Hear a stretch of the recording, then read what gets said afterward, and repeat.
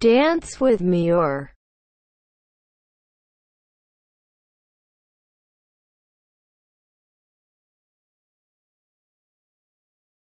you get hacked lol.